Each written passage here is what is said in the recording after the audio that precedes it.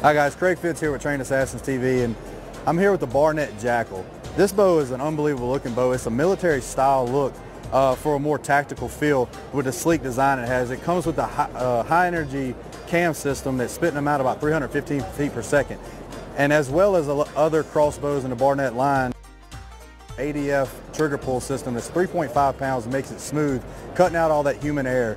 And you know, the main thing about this bow is you got to look good to shoot good. And this bow is a good looking tactical bow that can kill as well.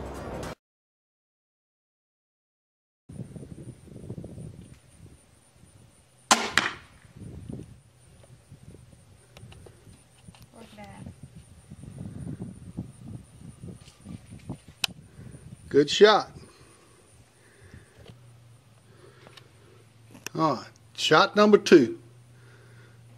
Tuning up before me and Miss Tiny goes deer hunting this afternoon.